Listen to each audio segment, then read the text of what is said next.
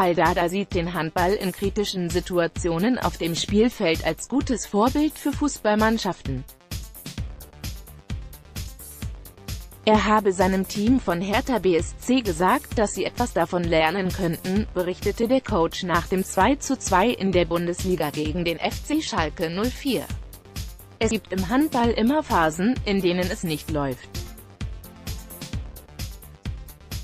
Wie sich Handballmannschaften durch guten Einsatz und Zweikampfführung gegenseitig anpeitschen. Das kann der Fußball mitnehmen. Er habe während des kampfbetonten Duells mit dem Revierclub gespürt, dass wir wirklich etwas engagierter als sonst gegen den Ball waren, sagte Dadai.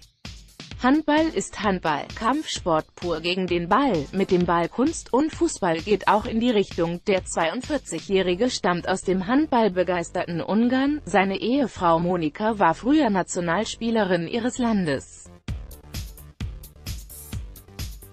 Bei der derzeitigen Weltmeisterschaft in Deutschland und Dänemark belegte Ungarn den zehnten Platz.